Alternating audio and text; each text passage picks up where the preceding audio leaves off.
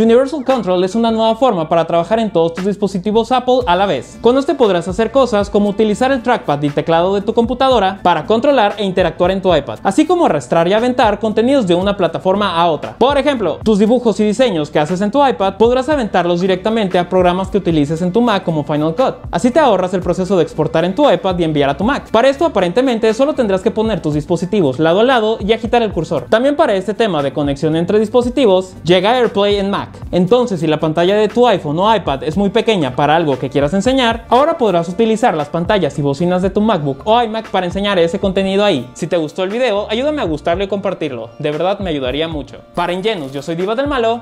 Nos vemos a la próxima.